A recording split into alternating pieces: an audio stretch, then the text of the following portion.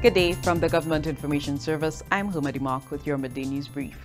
The Disaster Vulnerability Reduction Project, DVRP, has lent much needed support to the National Emergency Management Organization, NEMO, with financing from the World Bank Group, the DVRP, and the Department of Economic Development. The National Emergency Operations Center will receive the latest in audio-visual equipment and computers, all with CASIP's fiber-connected internet with a duplicate system from Flow to ensure the continuity of service during a disaster. Through the Contingent Emergency Response component, the Operations Center is also being provided logistical support through the procurement of a 4x4 double cab pickup for disaster planning and response. NEMO also received 371 1,000-gallon size water tanks for shelters and response agencies like the police, fire, and Bordelais correctional facility.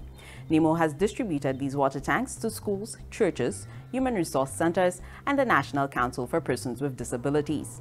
85 radios and 8 base stations were also procured under the DVRP to assist the health system and NEMO.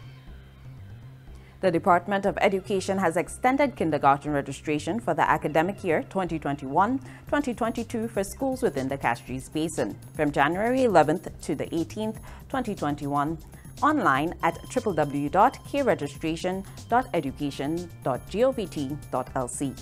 This late registration exercise will facilitate parents and guardians who have not registered their child or ward for entry into kindergarten for the following schools.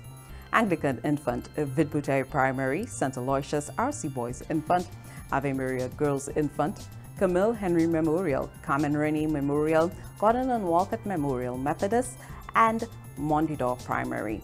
Parents and guardians should snap photos of the required documents and upload them as instructed on the website. For further information or clarification, please call 468 5259 or 468 5258 or WhatsApp 720 3252. Phase 1 of the flood mitigation project in the village of Dennery is progressing along with the reduction in the disruption and damage which is caused to residents by flooding. This project will also address several health hazards associated with poor drainage. Prime Minister Honorable Allen Chastanet taught the project on the weekend and is satisfied with the quality of the works and is looking forward to the impact that the project will have on the lives of residents. This concludes your midday news brief on the National Television Network. Until next time, I'm Humadi Mark.